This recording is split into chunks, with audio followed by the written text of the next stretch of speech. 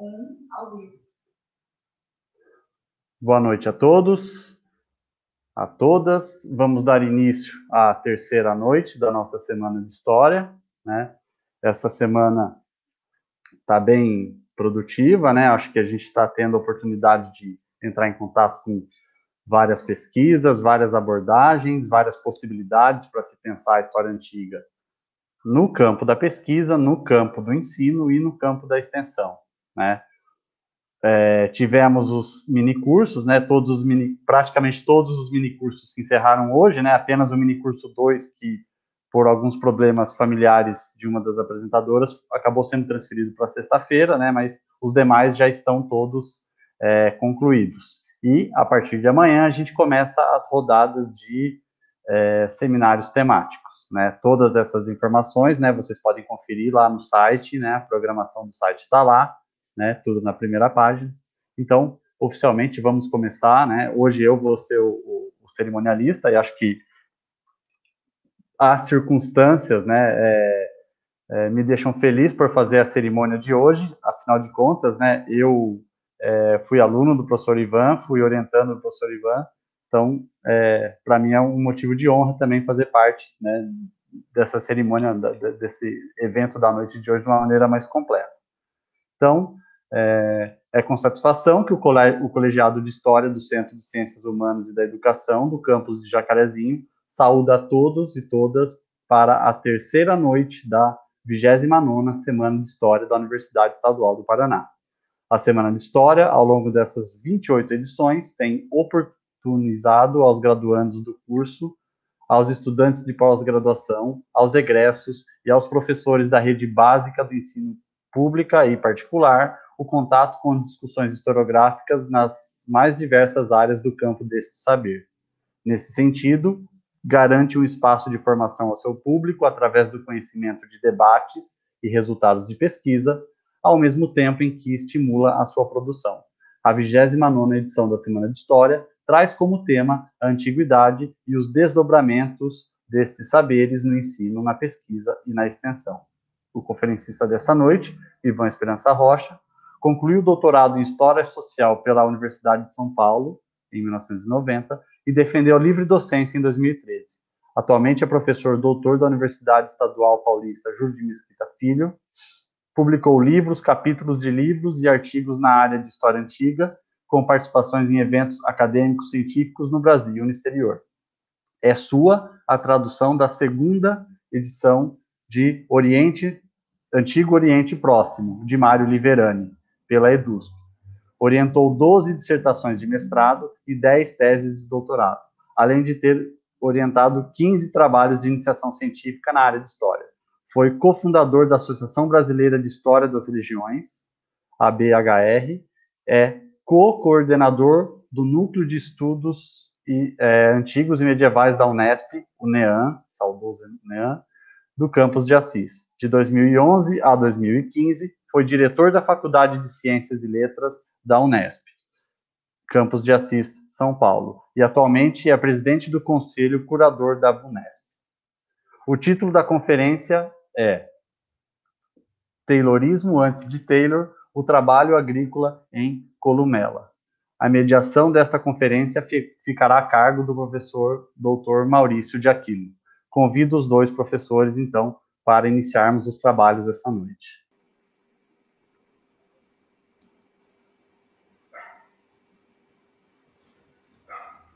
Ok. Maurício, tudo bem? Muito, tudo bem, Ivan. Acho então, que agora, agora é com a gente. É, então, tá. Boa noite a todas, a todos. É, Para é, para mim também uma grande alegria, né, uma satisfação enorme é, poder encontrar né, virtualmente, né, uh, ainda que virtualmente, o professor Ivan. Também foi o meu orientador no doutorado, foi meu supervisor no pós-doutorado e, e, e sempre tem me convidado também para realizar alguns trabalhos acadêmicos né, é, na Unesp, e, então um, é, uma pessoa admirável, né, um, um, pesquisador de referência e também, é, por nós, um grande amigo. Professor Ivan, muito obrigado né, por, sua, por sua disposição, né, por aceitar estar conosco é, nessa semana. Inicialmente, nós iríamos né, fazer lá no primeiro semestre, e aí, né, presencialmente, inclusive, né, mas por, pelas circunstâncias todas, é, nos encontramos aqui. Ficamos felizes né, por, sua, por sua disposição, interesse em estar conosco e em partilhar conosco é, essa, esse resultado né, de trabalhos que, que o professor já vem desenvolvendo há algum tempo, mas que foi, que foi publicado recentemente né, na, na revista Arcai. Né? Então, é, também, já de início, né, professor Ivan, dizer que é, esse texto, então, está tá disponível né, na revista Arcai, e aqui nós temos essa, essa grande honra né, de poder é, ouvir o, o, o doutor Ivan é, sobre um texto é, recente. Seja muito bem-vindo, professor, e mais uma vez, muito, muito obrigado pelo aceite e por estar conosco hoje. Muito obrigado a todos. É, agradeço imensamente aos amigos, né? É, agradeço aí o, e cumprimento o, então o professor Dr. Maurício de Aquino, o vice-diretor do campus da UEMP de Jacarezinho, o doutor Alfredo Moreira da Silva Júnior, diretor do Centro de Humanas e da Educação, o doutor Luiz, Luiz Ernesto Barnabé, coordenador do colegiado de História e não é, o valoroso coordenador da 29ª Semana de História, tá bom? É, eu cumprimento no nome da Cecília Pereira, né, que está aqui conosco desde as 7h28. Eu cumprimento, então, todos os alunos e todos os outros participantes que estão conosco nesta noite. Tá bom? É, então, vamos à nossa apresentação. Ela tem duas partes, uma mais rápida, inicial, para que eu apresente algumas imagens, não é? Para que vocês visualizem o contexto é, da discussão é, que nós estaremos apresentando. E lembrando que, como o professor Maurício tinha dito, este texto já está publicado, mas é a primeira vez que ele vai ao público num congresso. Então, sintam-se não é, é participantes de uma peça de primeira mão é, a respeito do autor romano Columela. Tá bom? Então, vamos à apresentação inicial. Deixe-me ver aqui. Ah, o Taylorismo, então, antes de Taylor. Tá? Esta é uma temática que eu vinha já trabalhando. Este texto, apesar de ter sido já publicado, ele é parte de um livro tá? que está aí no prelo e que o inclui como parte eh, de um conjunto de discussões que eu faço sobre a viticultura romana é, no primeiro século, é? a partir da documentação é, do Columela. Tá bom? É, vamos ver como é que eu passo aqui a. Um minutinho, como é que eu passo aqui a minha. A, o meu texto. Ah, ok. É, portanto, é, vocês estão visualizando a apresentação? Ok? É, professor Maurício, estão visualizando?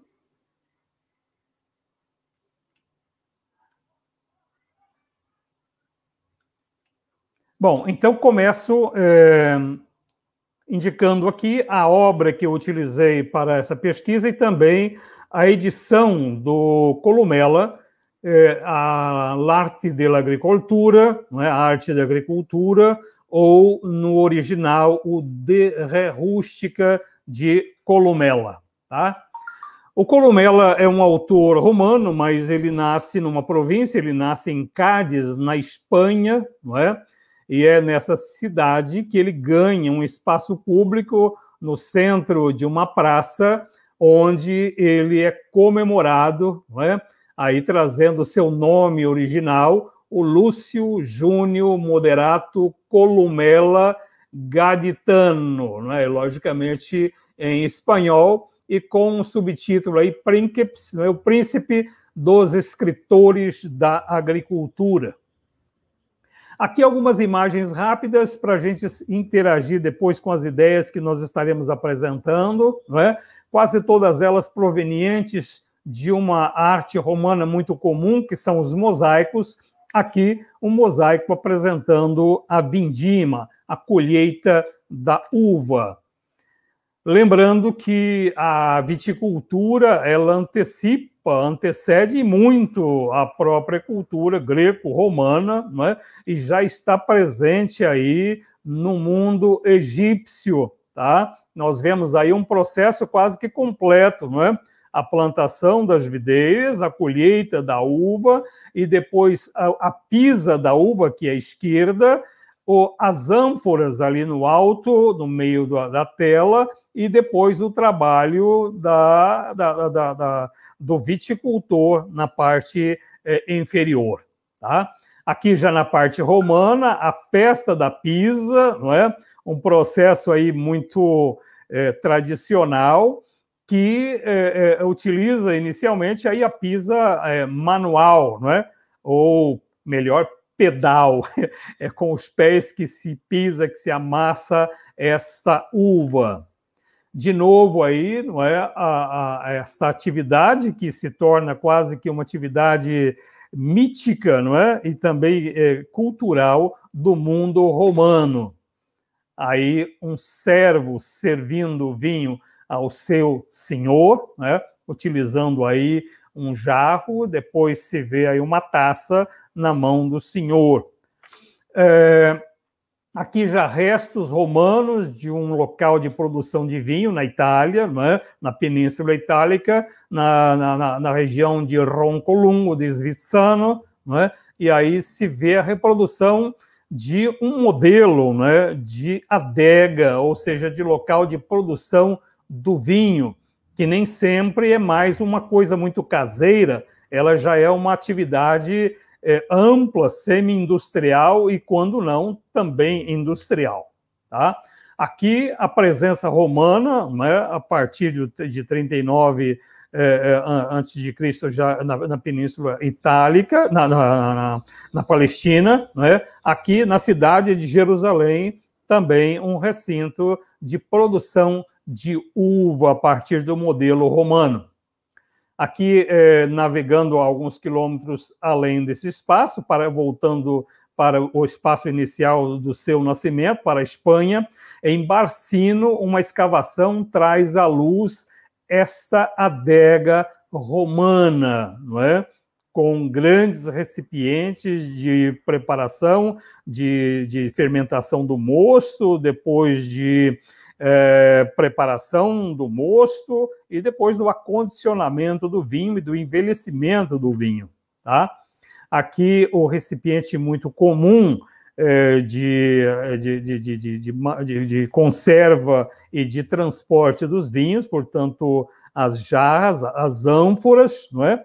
Aqui na França, em Mazantourelle, é, existe um espaço muito interessante de reconstrução de uma adega onde, period... onde diariamente não é, alunos, eh, turistas são recepcionados para participarem de uma atividade romana de produção do vinho. E veja que essa prensa é uma prensa romana, reconstruída, não é, trazendo a história antiga para a presença dos alunos franceses, dos turistas que ali, é, é, é, por ali, que por ali passam muito numerosos, tá bom? Aqui um conjunto de ânforas, não é? As mais dos mais diferentes modelos utilizados no processo de produção e de transporte, de conservação e de transporte da vinificação.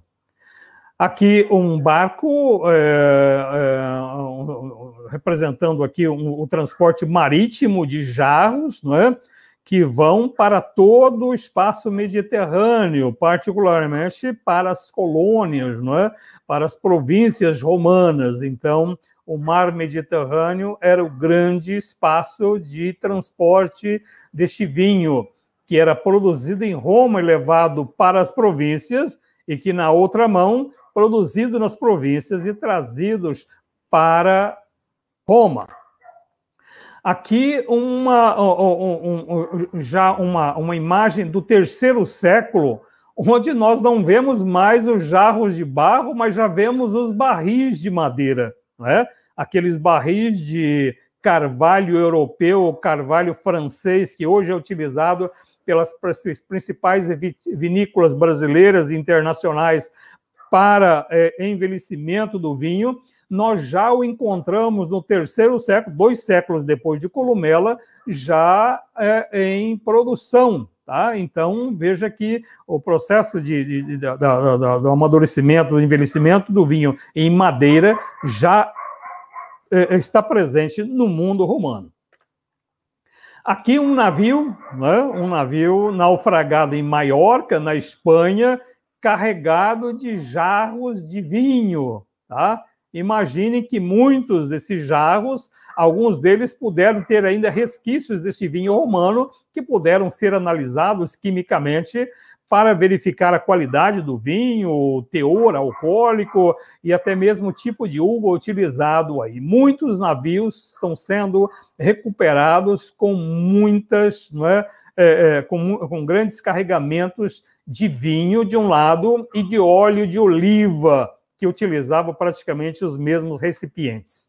E aqui, finalmente, o tema, o tema da nossa fala, da nossa conversa de hoje, a Vila Rústica Romana, onde, no espaço rural, era produzido o vinho romano para é, utilização local e também para utilização regional da península e internacional é, pelas colônias. Tá bom? É, eu gostaria de perguntar aí ao, ao, ao, ao, Aquino, está ok a voz? Todos estão ouvindo tranquilamente, os, os nossos participantes? Ok, a Amanda está dizendo que está ok, Amanda Guimarães, obrigado. Então, então vamos agora à nossa, à nossa apresentação, tá bom? Então vamos lá. Eu tenho uma proposta aqui, mais ou menos de 40 minutos de fala, e depois nós abrimos aí para a nossa conversa, para as questões, tá bom? Bom, então o Taylorismo é identificado com o sistema de organização e administração do trabalho proposto no início do século XX por Frederick Winslow eh, Taylor e busca alcançar o máximo de produção e rendimento com o mínimo de tempo e de esforço despendidos por meio de padronizações e simplificações num momento de expansão da indústria, que exigiu grandes preocupações com a eficiência do trabalho. Este sistema foi aplicado por Henry Ford na cadeia de montagem de automóveis, buscando inovações nas técnicas e processos de produção. O sistema é interpretado a partir da teoria da reificação, que descreve o modo pelo qual, sob o capitalismo, as formas tradicionais mais antigas da atividade humana são instrumentalmente reorganizadas de acordo com modelos racionais de eficiência. Apesar de fortes resistências a este modelo, por parte dos trabalhadores, e que, pode, que vocês podem ver espelhadas no filme Tempos Modernos, de Charlie Chaplin, produzido em 1936, que critica esse sistema de divisão e mecanização do trabalho, o Taylorismo acaba atingindo todos os domínios da sociedade. O Taylorismo foi posteriormente reelaborado em outros sistemas de produção, como o Total Quality Management, né, o TKM, TQM, defendidos por outros teóricos da administração, como Edward Deming, em 82, 88, depois 93, e que incorporaram outros componentes além do sistema de produção em si, como, por exemplo, uma relação muito estreita com a qualidade do atendimento aos consumidores. Essa racionalização do sistema produtivo, já em 1926, é refletida na criação da primeira entidade voltada para a unificação de padrões industriais, a International Federation of the National Standardizing Associations, a famosa ISA, é, que cessou suas atividades em 42, durante a Segunda Guerra Mundial, sendo substituída pela International Organization for Standardization, que nós a conhecemos um pouco melhor, a famosa ISO, né? a ISO, ISO 9000, ISO 9001, 9002 e tantos tipos de ISO que estão sendo implementadas pelo mundo, inclusive no Brasil. Essa ISO foi criada em 46. No Brasil, ela é representada pela Associação Brasileira de Normas Técnicas, a ABNT, com a qual nós temos familiaridade no tocante ao processo de citação de textos nos nossos trabalhos de iniciação científica, nas nossas mestrados, doutorados, pós-doutorados, e em todo tipo de produção acadêmica. A preocupação com a, é, com a padronização de procedimentos e com a qualidade de produtos e serviços iria se difundir pelos mais diferentes setores produtivos e de serviços, gerando uma corrida pela certificação ISO ISO 9000, etc, etc. Assim, apesar de vinculado inicialmente à atividade industrial, o Taylorismo foi adaptado à racionalização das mais diversas atividades econômicas, inclusive da agricultura. Mutatis mutandis, é? esta interpretação, invenção moderna encontra experiências aproximativas já na antiguidade, envolvendo a atividade agrícola, ainda que em contextos bem distintos. Existem ensaios, mesmo que idealizados, documentados no Mediterrâneo Antigo, particularmente nas obras dos autores agrônomos romanos Varrão, Catão e Columela, que discorrem sobre formas racionais de desenvolver a atividade agrícola aplicadas tanto ao processo de seleção da terra, como a organização e administração das atividades rurais, tendo em vista o crescimento da lucratividade a ser oferida como estratégia para atrair de volta os romanos para um setor econômico momentaneamente abandonado.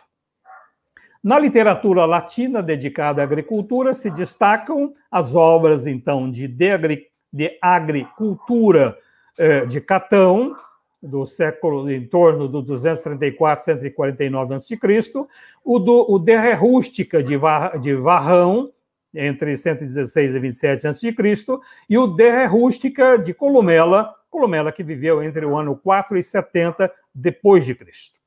Aqui nos deteremos na obra agronômica de Columela, de De Rústica, ou sobre a agricultura que permite discutir vários aspectos da economia rural romana, com destaque para os elementos econômicos e sociais do trabalho realizado na Vila Romana, apresentados pelo autor de forma idealizada e ideologizada dentro de uma perspectiva que se aproxima do racionalismo taylorista. Columela como tínhamos dito no início, é um cidadão romano originário de Cádiz, que se soma a outros autores originários da Espanha, como Lucano, Pompônio Mela, Marcial e Quintiliano.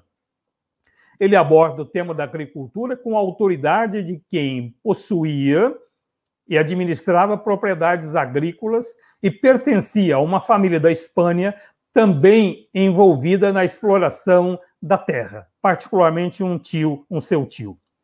Possui propriedades em Carceole, Ardeia e Albanum, no Lácio, e uma em Cere, na Etrúria, todas na redondeza, digamos assim, da cidade de Roma. Prestou serviços militares na Síria e Cilícia, como atesta uma inscrição encontrada em Taranto, onde acredita-se que tenha morrido. Nessa sua experiência militar, ele não só cuidou de questões militares, mas também de agrícolas, trazendo muitas experiências dessa região para as suas próprias experiências. A obra agronômica de Columela, assim como a de Catão e Varrão, deixou de ser interpretada tanto como uma fiel descrição da realidade rural de seu período, como do tipo de intervenção nesta realidade. Dado que a arqueologia rural trouxe mais recentemente à tona formas de exploração mais amplas e complexas do que como ela descreve a respeito da atividade rural romana. Apesar de não representar a diversidade da produção agrícola romana do primeiro século, propõe Columela um modelo de administração rural impregnado por uma forte preocupação com a racionalização dos processos nela envolvidos. A possibilidade de lucros exige inicialmente a escolha de terras de qualidade e com uma localização favorável. Aliás, essa é uma conversa que vocês podem repassar para os agricultores regi da região aí de, de Jacarezinho. É muito interessante essa conversa. As construções voltadas para a habitação e para o trabalho são efetuadas seguindo princípios lógicos que favorecem o sistema e a agilidade das atividades rurais e os resultados a serem obtidos. Apesar de a produção agrícola eh, romana incluir o modelo do colonato e outras formas de arrendamento, Colomela descreve uma propriedade que adota o trabalho realizado por escravos. Destaca a importância da especialização dos escravos e da qualidade das ferramentas a serem utilizadas nas diversas atividades cotidianas. Chama a atenção para a qualidade dessas atividades para se evitar o retrabalho, tendo em vista o custo que este retrabalho gera. Propõe um sistema de incentivo para estimular a produtividade. As tarefas agrícolas são parceladas em cadeias de montagem com grupos de 10 trabalhadores para garantir a coesão e o ritmo do trabalho. Apesar de descrever um processo de despersonalização no trabalho, Columela chama atenção para a importância de se levar em consideração as opiniões de cada trabalhador no aperfeiçoamento das tarefas que realizam, inclusive como forma, inclusive como forma de estímulo ao empenho de cada um. Há também uma preocupação com a saúde desses trabalhadores, para que o trabalho não seja prejudicado e como política de administração que evite o turnover. Não é o nosso tema aqui agora, mas ele também fala não do Covid, mas do distanciamento no momento de problema de saúde, tá? E particularmente com o mundo animal. Ele diz que é preciso um, distanciar os rebanhos doentes dos rebanhos sadios para que não afete todos os animais da vila administrada. Bom, depois a gente pode conversar um pouco sobre isso. Columela chama a atenção para a importância de se criar centros de formação especializados para preparar uma, uma mão de obra para as atividades agrícolas. Né? Ele é o precursor aí da faculdade de agronomia dos nossos, das nossas universidades. Né? Catão silencia sobre o assunto. E Varrão afirma laconicamente que os capatazes, né, que o, o, o, os, eh, os vílicos, não é? Vilici, o nome de capataz latino é vilicus, o plural é vilici, deveriam ser escravos mais velhos e ter experiência em trabalho rural. Columela é o único dos três escritores agrícolas que possui maior preocupação com a formação do capataz, do Willicus. O futuro Willicus, o futuro capataz, devia ser instruído por trabalhadores de diferentes atividades, para aprender a administrar todos os trabalhos a serem realizados no campo. Em seu prefácio, Columela diz que existem escolas de formação para retóricos, matemáticos, e, e é preciso que elas existam também para preparar para as atividades agrícolas. Muitas outras instruções apresentadas por Columela a respeito das atividades no campo são pautadas por uma preocupação de evitar perda de tempo e aumentar a produtividade e a qualidade do trabalho. Em um sistema produtivo fortemente marcado por um modelo escravagista, diga-se de passagem, característico do período, o trabalho é organizado a partir de uma ideia, como tinha dito, de uma cadeia de montagem com uma forte supervisão voltada para a produtividade e para o uso racional do tempo. A estandartização da atividade agrícola proposta por Columela é inspirada em obras de teóricos anteriores que discutem a racionalidade dos processos eh, produtivos agrícolas. Mutatis mutandis, né? em outras palavras, ou seja, levando em consideração especificidades do sistema produtivo romano, deve-se estabelecer vários vínculos com o sistema columeliano e o taylorista aplicado à atividade produtiva no campo. Pessoal, vocês estão ouvindo um punhado de, não sei se estão ouvindo, mas um punhado de rumores aqui fora. Tem muita gente aqui na rua que não está respeitando muito o distanciamento covidiano, tá bom? Vamos lá. Columela se opõe a autores que defendiam que uma terra de cultivo devia passar por um período de repouso para retomar sua fertilidade. Né? Havia até uma ideia do ano sabático né, da terra, deixar a terra durante um ano sem produzir para que ela possa retomar a sua fertilidade. Segundo ele, deve haver uma racionalização deste processo, com a utilização de adubos naturais, como humus composto por folhas e ervas acumuladas, e a criação de animais que constituem outra importante fonte de adubação. É muito comum que nós encontremos agricultura, não é? A agricultura romana sempre vinculada à, à criação de animais com esta finalidade. Lógico, a finalidade de carne, do leite, mas também da, da, da, da dos adubos naturais. Colomela escreve uma obra em que estimula a retomada da viticultura na Península Itálica, que tinha sido abandonada, como um dos primeiros efeitos da emancipação econômica das províncias. Né? Aquela briga que hoje existe entre a França e a Espanha, não é? A Espanha que produz um vinho mais barato e bota a preço mais econômicos na França, não é? Gera uma polêmica enorme. Aqui essa polêmica também se põe as províncias começam a produzir vinho de muito boa qualidade, que são trazidos para Roma a um bom preço, eh, desestimulando a produção mais cara do vinho produzido pelos romanos na Península Itálica. Bom, eh, ele se propõe então a regenerar e a dignificar a atividade agrícola romana, entendendo-a como uma atividade vital para a subsistência e como o caminho mais adequado e honesto para ampliar patrimônios pessoais. Em seu esforço para dar credibilidade à atividade agrícola romana, Colomela começa dizendo que em qualquer área de atividade são necessárias três condições fundamentais. Primeiro, o conhecimento do ofício. Segundo, os recursos necessários para fazer frente às despesas envolvidas. E a terceira condição, a vontade de trabalhar.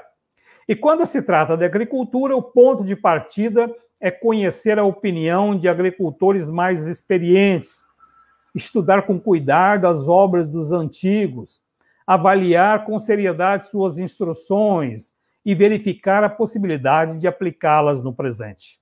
Dentre os autores vinculados à agricultura, como já dissemos, eh, já nomeamos alguns deles, se encontram, então, retomados por Columela, Catão, Varrão, também Tremélio Escrofa, que é um seu contemporâneo do primeiro século, não, desculpe, que é um autor do primeiro século antes de Cristo, Virgílio, que é um autor do 70 ao 19 antes de Cristo, né? e Claude Mossé chega até a dizer que Varrão e Columela apenas representam a obra de Catão. Bom, são questões a serem discutidas.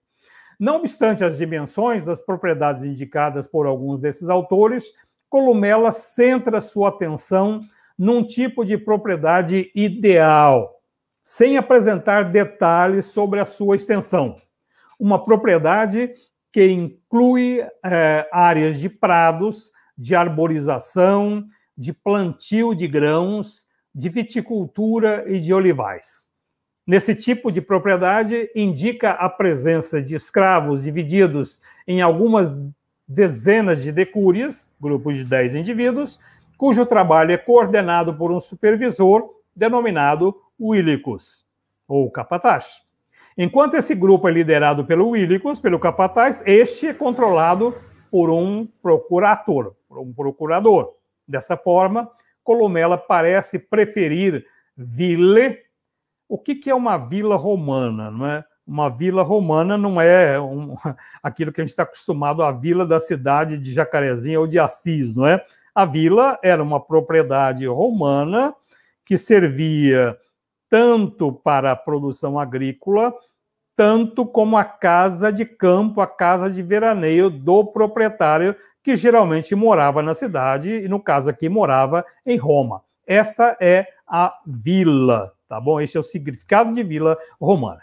Então, desta forma, Colomela parece preferir ville, né, vilas administradas preferencialmente por Willett, por capatazes, dando menor ênfase ao modelo de atividade rural em mãos de arrendatários, a não ser em casos excepcionais, caracterizados, dentre outros fatos, pela grande distância da propriedade dos centros urbanos.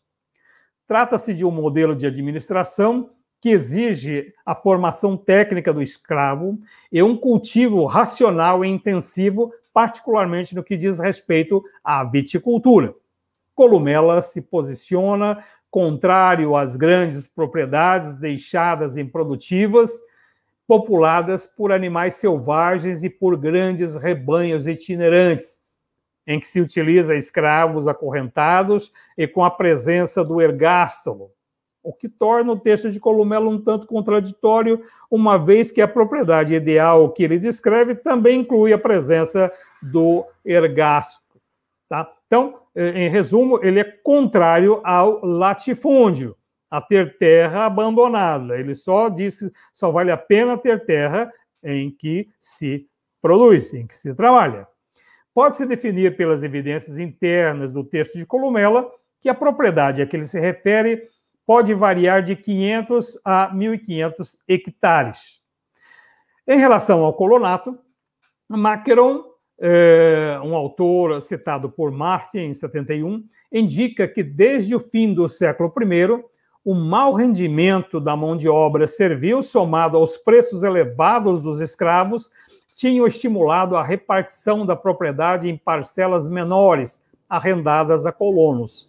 Plínio Jovem é um exemplo dos que lançam mão em suas propriedades, tanto da mão de obra escrava quanto do colunato. Quem quiser saber sobre o Plínio Jovem, né, Luiz? Aí converse com o professor André. No caso dos arrendatários, eram independentes na exploração das terras e deviam assumir todos os riscos de queda de produção e de queda nos preços do mercado. Essa dupla possibilidade de exploração da Terra tem levado os historiadores a se dividirem em dois campos de interpretação. Alguns continuam a sustentar que o escravismo constituiu a base da produção agrícola na antiguidade clássica, e há outros que negam tal centralidade, indicando a presença do campesinato livre, devido à presença de pequenos proprietários arrendatários ou de jornaleiros no sistema produtivo, uma discussão que se realiza em torno da afirmação ou negação de categorias marxistas e de sua aplicação nas sociedades do mundo antigo. Passa-se mais recentemente de uma discussão centrada na visão excludente escravos ou camponeses livres para uma visão inclusiva de escravos e camponeses livres. Como já cenamos, Columela demonstra conhecer um número expressivo de tratados sobre agricultura anteriores. Veja que a importância da história na própria agricultura. Nós, como historiadores, não é? que temos no documento uma peça fundamental para o nosso trabalho, o agricultor, aqui representado pelo Columela, tem um grande, é, é um grande apreço não é? pela história da agricultura. Ou seja, não se pode perder a experiência do passado para construir a experiência agrícola do presente. Tá? Então, Columela demonstra conhecer vários desses tratados de agricultura anteriores a ele e também contemporâneos ao seu período, que inclui tratados escritos em outras línguas e regiões que, segundo ele, devem ser levadas em consideração naquilo que puder ser adaptado para a agricultura romana. No entanto, diz que, apesar de tais obras incluírem instruções sobre agricultura, pouco se referem a importantes detalhes sobre o trabalho do campo. Idealmente, sugere que a propriedade rural deve se localizar próxima à cidade e que não bastam os recursos, nem o esforço e experiência de um Willicus, de um é, é, de um capataz se o senhor, se o dono, não se empenhar, não acompanhar de perto as atividades da sua propriedade. Este deve conhecer o tipo de terra que possui e as plantações terceirizar isto para o seu Willicus, ele deve participar diretamente dessa atividade. Deve se inteirar muito bem dos vários trabalhos que devem ser executados nas diferentes partes da propriedade. Na sua concepção racionalista da produção agrícola, eh, Colomela defende que se a terra for inadequada para o que se quer produzir, ela deve ser vendida e comprada uma outra propriedade. Na sua opinião, uma propriedade rural ideal é aquela que é fértil, onde há um bom clima e que parte dela se situe na planície parte em colinas voltadas para o sul ou para o oriente e deve incluir áreas de cultura, de bosques e áreas sem ser cultivadas. É importante também que a propriedade se encontre não distante do mar ou de um rio navegável para que se possa exportar os produtos e importar o que se necessita para explorá-la. Portanto, uma terra muito comum daquilo que é o desejo de qualquer agricultor brasileiro aí, né? De ter uma boa terra, terra plana, com água próxima para irrigação e estradas para o escoamento da produção. São ideias que, né, parece estar retratando aí a realidade atual dos nossos trabalhadores agricultores brasileiros. Deve haver áreas em que se planta oliveiras, vinhas e árvores e outra que sirvam de pastagens para o gado. O ministro do Meio Ambiente devia ler a obra de, do, Columela aí para aprender algumas coisas, não é? A presença de água, então, para irrigação é muito importante, mas também as estradas e uma vizinhança laboriosa que estimule o bom trabalho com a terra. Deve-se evitar comprar vastas terras quando não se tem meios de cultivá-las. Aqui apoia-se numa afirmação de Virgílio que diz o seguinte, não é? Na sua obra. Admirem, se quiserem, uma grande propriedade, mas cultivem apenas uma pequena propriedade. Uma posição claramente colocada contra o latifúndio, particularmente na Península Itálica, em que se sabe que a Itália cabe no estado de São Paulo, ou cabe no estado do Paraná, então a terra tinha um valor muito grande, então não tinha sua, um Amazonas, não é? um território de 8 milhões de, de quilômetros quadrados como o brasileiro. Né? Então a terra era, era, um, um, era muito escassa, então não se podia, é, é, é como dizem os italianos, sprecar a terra, né? perder, não é? ou, ou, ou, ou ficar amarrando um conjunto de terras sem que se produza nelas. Segundo ele, um pequeno, é, em pequeno é, campo bem cultivado, um pequeno campo bem cultivado, rende muito mais do que um grande mal cultivado. Tá certo? E referindo-se a um ditado anônimo, Colomelo diz o seguinte: abre aspas, em todas as coisas existe um limite. Este ditado pode ser aplicado a qualquer pessoa, em qualquer circunstância, mas pode ser aplicado principalmente a quem quer adquirir um campo e ensina a não comprar mais terra de quanto se tem condições para cultivá-la. Isso ele descreve no primeiro livro da sua obra de agricultura, sobre agricultura. Columela critica os senadores que possuem muitas terras, mas não as cultiva, impedindo que outros possam utilizá-las. Antes de se comprar um campo, deve-se visitá-lo várias vezes para descobrir suas vantagens e desvantagens.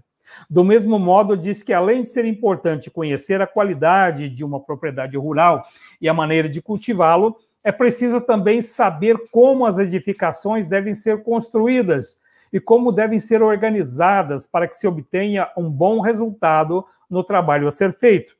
As dimensões das edificações devem ser adequadas ao tipo e volume de trabalho. Se forem excessivas, exigem grandes gastos de construção e manutenção. Se forem muito pequenas, põem em risco as atividades da propriedade. A casa do proprietário deve ser feita segundo suas posses, mas por quanto possível deve ser suficientemente confortável para atraí-lo com frequência ao campo. Columela dá, detalhe, detalhes sobre a melhor localização e posição dessa casa, levando em consideração as condições climáticas itálicas. Quando se refere à construção dos estábulos, diz que devem favorecer o cuidado e alimentação dos animais. Distingue entre as construções da Vila Romana, ou Casa do Senhorio, a, é, a, a, Vila Romana é dividida em três partes, tá? A Vila Urbana, que é o local da construção da casa do, do, do proprietário, a Vila Rústica, que é o local de eh, eh, a, casa do Vílicos, é? e a Vila Fructuária, que é o espaço de produção e de armazenamento dos produtos. Citando Lúcio Volúzio Saturnino, um autor é, que viveu entre 37 a.C. e 56 d.C., diz que as terras de baixa qualidade e longínquas devem ser arrendadas. E é importante que elas sejam entregues a colonos livres da região que tenham crescido na zona rural, evitando se entregar tal trabalho nas mãos de escravos sem qualificação para essa atividade. Mas as terras férteis devem ser administradas diretamente pelo proprietário ou por um capataz, pelo seu eh, willicus evitando-se escravos pouco afeitos ao trabalho com a terra e que podem trazer mais prejuízos do que lucros ao proprietário. No regime do colonato, a propriedade deve ser confiada a colonos livres e escravos, tanto livres, os escravos soluti, quanto acorrentados, os escravos vincti ou aligati. O senhor deve ser afável no trato com os colonos, mas firme na cobrança do pagamento das rendas, ainda que deva ser compreensivo em caso de intempéries que prejudiquem a produção, ou um ano de seca, sem chuvas e tudo mais, onde é, é, que, que, que prejudique a produção e, logicamente, as condições de pagar por ela. No caso das propriedades em que o senhor utiliza capatazes, os willish, estes não devem ser escolhidos entre escravos acostumados a tarefas urbanas e delicadas, mas sim entre aqueles calejados pelo trabalho no campo e que tenham as habilidades necessárias para realizar as atividades envolvidas na propriedade. De preferência, os escravos devem ser escolhidos entre os nascidos na casa do senhor, do proprietário. No entanto, os juristas romanos se referem a Willit não apenas como escravos, mas também como eh, homens livres. A mulher do capataz, a Willica, deve ajudá-lo nas tarefas do campo e deve manter-se à distância dos escravos, evitando receber visitas de pessoas inconvenientes.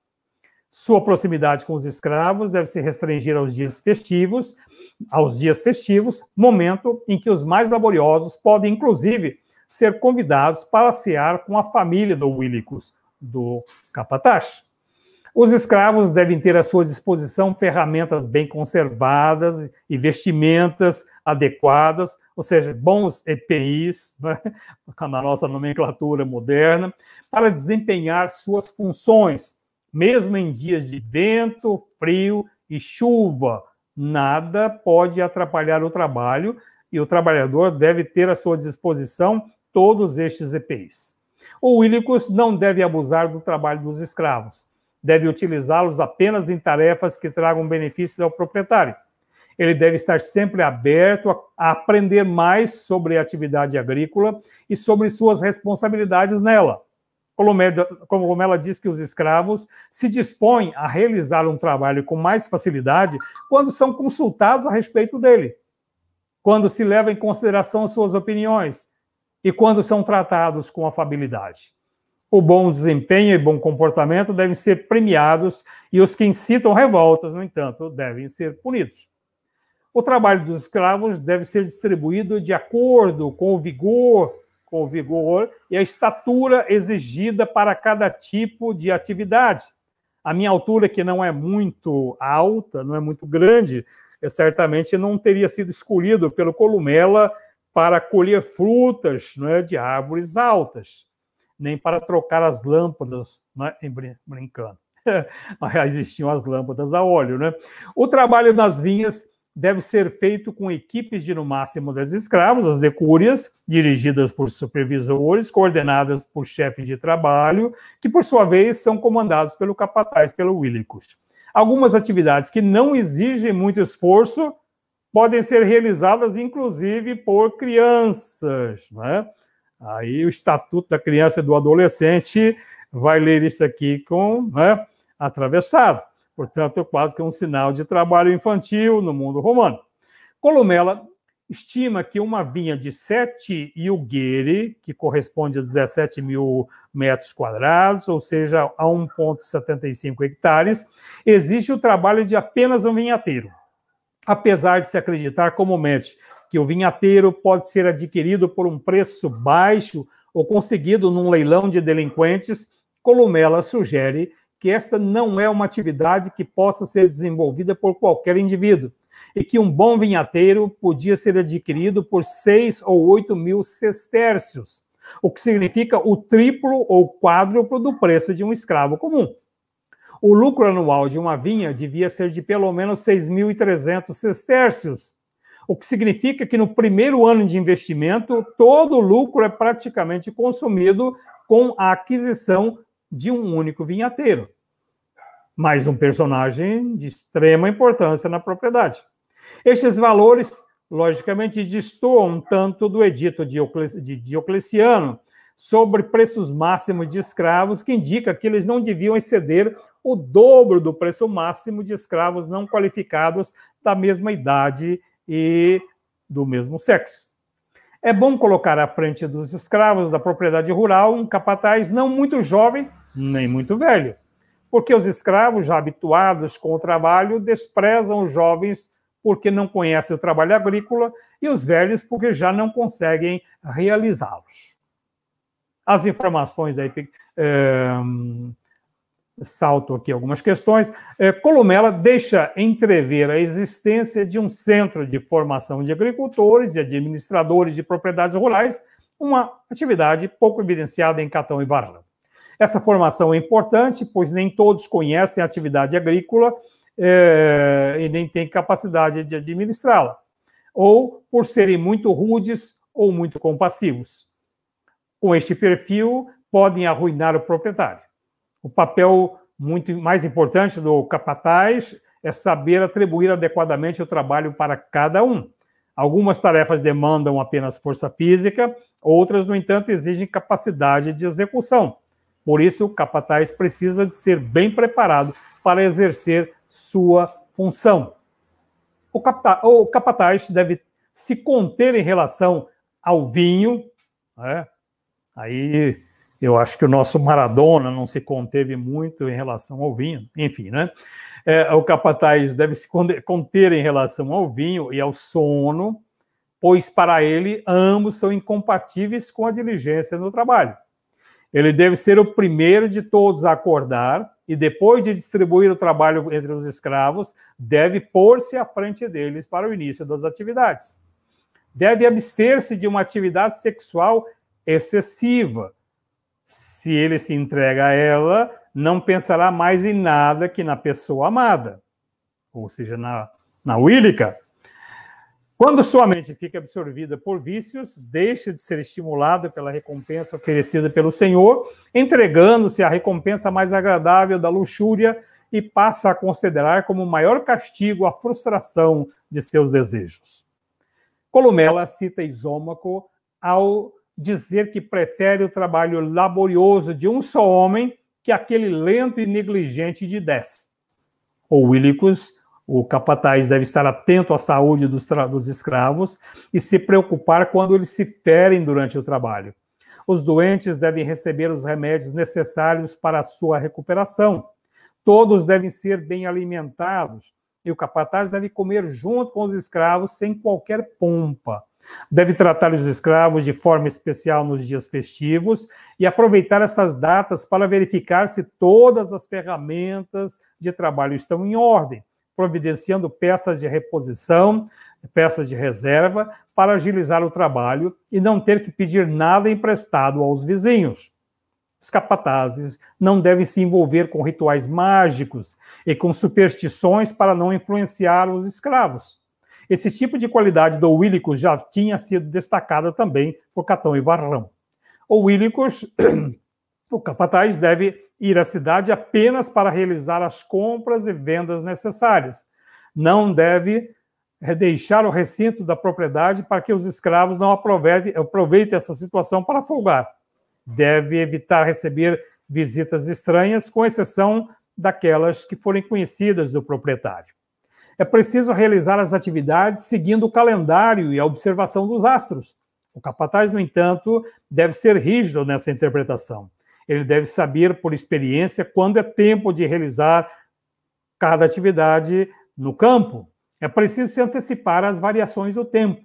Não só o vinhateiro, mas também o capataz deve saber a hora de começar a fazer a vindima. Você sabe que quem produz vinho e aqui está um vinhateiro, né, Luiz? É, é, Para fazer um vinho, você tem que colher a uva na última hora, na hora que ela estiver mais doce, né? onde o Brix dela chegar de 18 a 22, para que você não tenha que acrescentar açúcar, né? para chegar aos 12 graus de um bom vinho, tá? Uma outra hora a gente pode conversar aí sobre produção de vinho, tá bom? Todos estão convidados. Bom, então, é, quando o Vilic souber identificar que a uva está adequadamente madura, ele procede à colheita. Mas antes, se possível, deve ter tudo preparado desde o mês anterior, ou seja, deve cuidar para que haja ânforas betumadas, as prensas preparadas, a lenha para aquecer o mosto e tudo o que for necessário para a produção de um vinho de qualidade. Durante. É, eu gostaria de lembrar que o, o, o Columela ele fala de todo e qualquer tipo de produção, tá? Mas ele dá uma ênfase toda particular à viticultura. Durante o período da semeadura, o capataz deve delegar a supervisão do restante das atividades da propriedade à sua esposa, a Willica, mas sempre garantindo que tudo seja realizado adequadamente. No livro 12 do seu De Rústica, no seu de Agricultura, Columela começa a apresentar o papel da esposa do capataz, ou seja, da Willica, citando o econômico de Xenofonte, apresenta como uma das características do casamento a sua utilidade prática. Apoiado em Cícero, diz que a tradição entendia que a natureza uniu o homem e a mulher para que a humanidade não se extinguisse e para garantir a proteção no período da velhice. Pessoal, não estou dando sugestão para ninguém. Todos os alunos aí, né, é, é, é, busquem outros modelos, né, para é, para a, a, sua família. Bom, o trabalho agrícola, mas também a atividade militar, ficavam sob a responsabilidade do homem e a mulher, considerada inábil para tais coisas, assumia a responsabilidade pela casa. A timidez da mulher a torna. Essa aqui é uma questão do Colomela. Não acredito que as mulheres sejam tímidas, né? O que vocês dizem aí? É, a timidez da mulher a torna mais prudente e cautelosa nesse seu trabalho. A mulher completa o homem naquilo que lhe falta. O pessoal que faz pesquisa de gênero vai dar umas cutucadas aí na obra do, do Columelo, né? Bom, houve um momento em que o senhor e a senhora se ocupavam da maior parte das atividades da administração, ou seja, os donos da administração de suas propriedades ficando poucas atividades sob a responsabilidade do capataz e de sua mulher. No entanto, em seus dias, diz Columela, não era, não era mais esta a compreensão que se tinha do papel do senhor e da senhora. As senhoras tinham se tornado ociosas, é? preocupadas com shopping center, com uma vida de luxo, gastando fortunas para manter um alto padrão de vida. A corresponsabilidade entre o homem e mulheres deixou de existir. O papel do senhor passou a ser desempenhado pelo capataz, pelo Willicus, e o da senhora por sua esposa, a Willica. A partir do momento em que a Willica passa a substituir a senhora nas atividades da propriedade, Columela apresenta um conjunto de regras para definir o seu papel. Ela deve possuir um padrão de beleza mediano, né? Para que o Willicus não se encante demais, não se deixe atrair por ela excessivamente, desviando sua atenção do trabalho. Ela deve se manter sóbria. Os romanos proibiam as mulheres de beber vinho. Eu não acredito, não é? Bom, deve manter-se sóbria, evitando o vinho e uma alimentação excessiva. Deve afastar-se das superstições, deve levantar cedo como seu marido e assumir suas responsabilidades cotidianas da casa, liberando o marido para as atividades externas. Mas além do cuidado da casa, ela precisa se envolver com o trabalho da saúde dos escravos, inspecionar as ferramentas de trabalho e, ao final da jornada, manter a dispensa abastecida. Cuidar bem dos escravos ajuda a garantir, diz Colomela, ajuda a garantir sua fidelidade e desempenho. Em sua descrição do trabalho na Vila Romana, Columela apresenta evidências de que a economia romana, aqui representada por sua vertente agrícola, está fundamentalmente vinculada ao regime escravagista, caracterizado pela privação da liberdade e pela consideração do escravo como um bem patrimonial totalmente à disposição da economia senhorial, ainda que haja indicações de relações de colonato envolvendo indivíduos livres no trabalho do campo. Em conclusão, podemos dizer que é, Columela apresenta um quadro muito específico e provavelmente ideal de um tipo de propriedade rural e do trabalho que nele se desenvolve. Para uma compreensão mais ampla da atividade rural romana, é preciso realizar uma análise de conjunto das diferentes regiões itálicas e das especificidades que as distinguem, incorporando os dados proporcionados pela arqueologia, eh, especialmente pela arqueologia mais recente, relativas ao período. Deve-se levar em consideração que muitos espaços rurais na Península Itálica não se orientavam pelas regras impostas pelo direito romano tradicional e, portanto, não se enquadram na descrição muito restrita de Columela. Em sua descrição, finalmente, sobre o trabalho do campo da Vila Romana, Columela centra sua atenção numa racionalidade taylorista de cada operação, do uso do tempo, da escolha adequada de indivíduos para administrar e realizar essa atividade, a partir da ideia de uma cadeia de montagem que traga resultados econômicos que constituem que continue o despertar, a despertar o interesse pelo trabalho no campo que tinha entrado em colapso provocado pela banalização e inadequação operacional. Muito obrigado pela atenção de todos.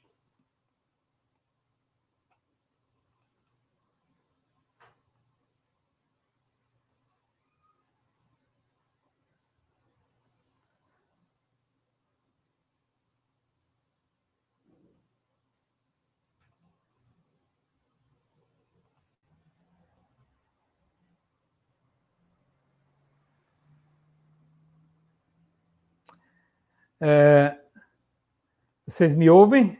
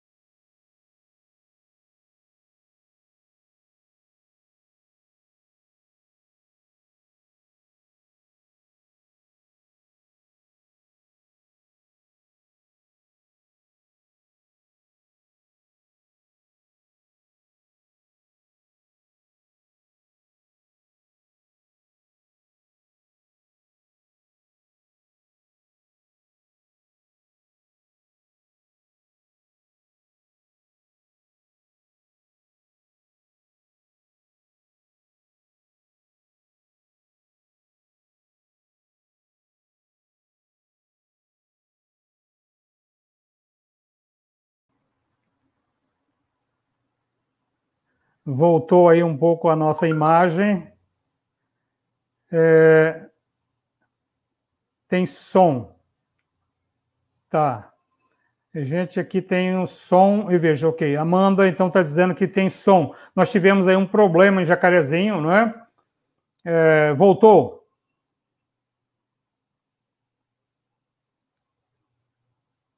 Eu acredito que tem havido alguma questão ali com, é, com o professor Maurício. Deve ter caído a sua, a sua rede. Oi, Maurício. Tudo bem, professor? É, nós estamos, estamos com essa variação de energia. Variação de energia, é isso aí, é complicado. Viu? Então, é, começou no Amapá. É, começou no Amapá e agora. Desceu para Jacarezinho, né?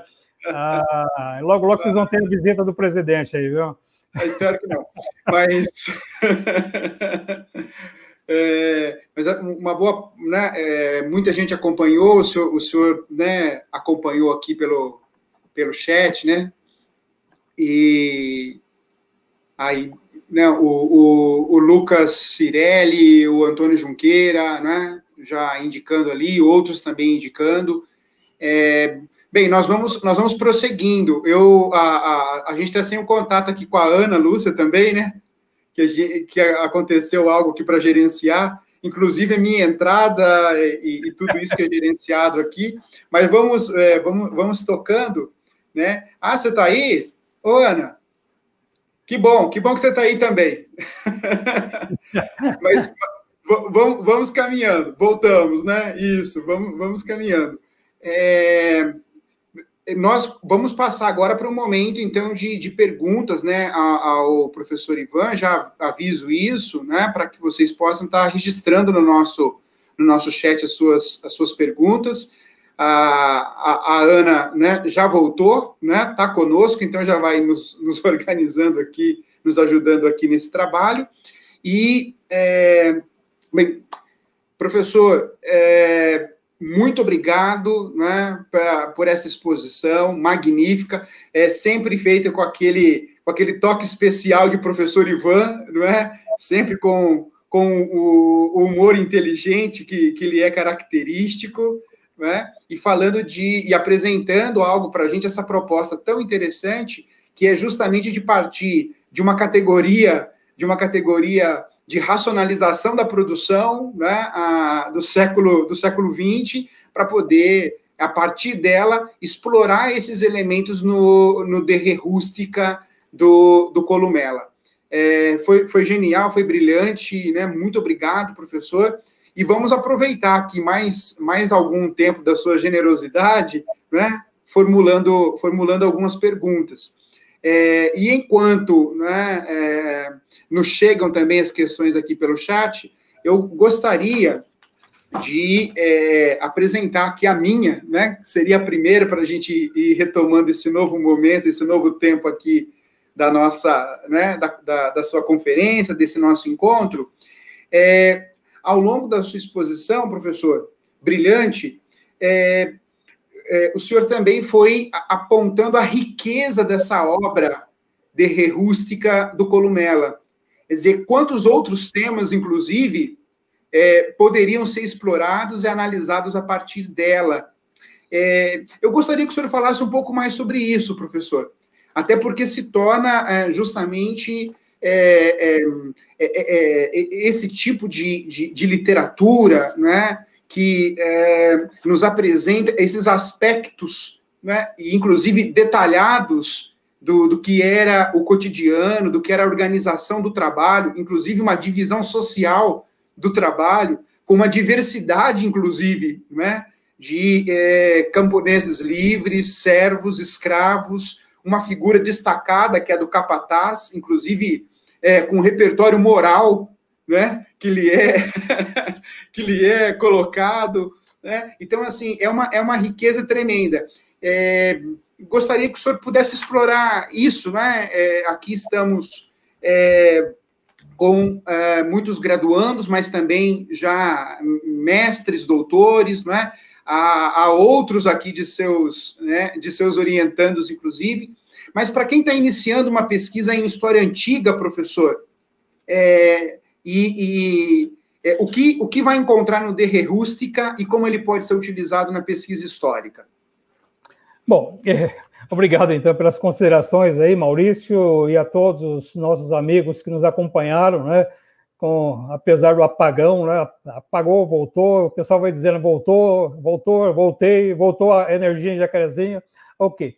Então não é um problema do Amapá e de Macapá, é um problema, enfim, mais amplo do que nós imaginamos.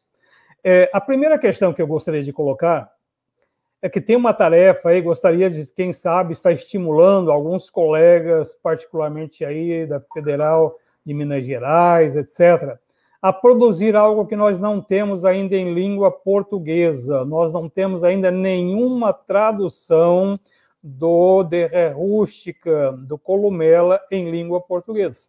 Então, aí é, um, é uma lacuna que precisa ser preenchida exatamente porque eu não, eu não vejo um curso de agronomia, por exemplo, que não coloque no primeiro ano, na história da agricultura, que não coloque o Columela entre a bibliografia básica de discussão, não é?